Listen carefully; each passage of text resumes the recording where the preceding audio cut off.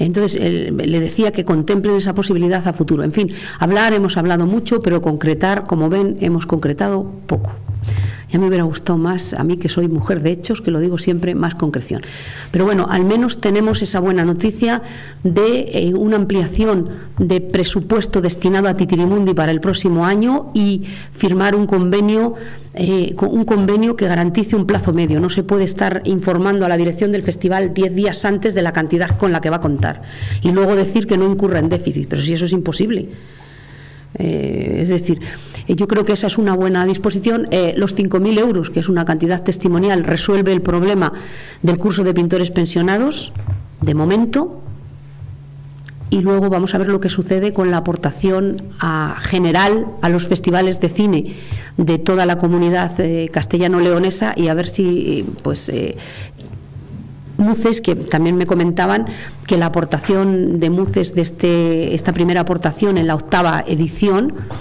eh, se ha debido a que estaban implicados también los directores de, los festivales de, Castilla y León y claro, ellos dijeron que este era un festival importante y que tenía que tener respaldo de la Junta. Es decir, que ahí si, de alguna manera cooperan con la dirección de los diferentes festivales a la hora de asignar recursos a los mismos, pues hay una garantía también de que haya un criterio más objetivo o que se tenga en cuenta a los profesionales del medio a la hora de distribuir un, reparto, a la, hora de hacer un reparto económico o de asignar una, aportación a cada, una de, a cada uno de los festivales porque luego ha salido también el Esteban Vicente y otras cuestiones, pero creo que eso es competencia de otras administraciones y lo deben trabar ellos, porque claro, yo hablaba del panorama cultural de la ciudad en general y de lo que ha significado el retroceso de la Junta. Entonces es eso, temas clave. Yo les he hecho ver el retroceso eh, en el respaldo económico de la Junta a los grandes proyectos culturales de la ciudad, un retroceso que no ha sido del 20%, que en algunos casos ha sido casi del 70% y en otros ha sido del 100%, que eso se ha unido a la desaparición de la obra social y cultural de Caja Segovia y que eso es una situación muy compleja para el tejido cultural segoviano, una ciudad que tiene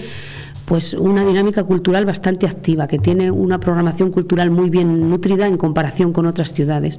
que eso crea un verdadero problema en la ciudad y que el ayuntamiento se ha quedado ahí respaldándolo todo en solitario y es la administración más cercana, pero la que menos presupuesto tiene. Evidentemente, ese ha sido mi argumento y el argumento de la consejera ha sido la reducción de presupuesto del 60%, lo que lo hace todo muy difícil, hay que decirlo y a partir de ahí hemos ido hablando de cada uno de los proyectos y eh, en concreto lo que os he dicho.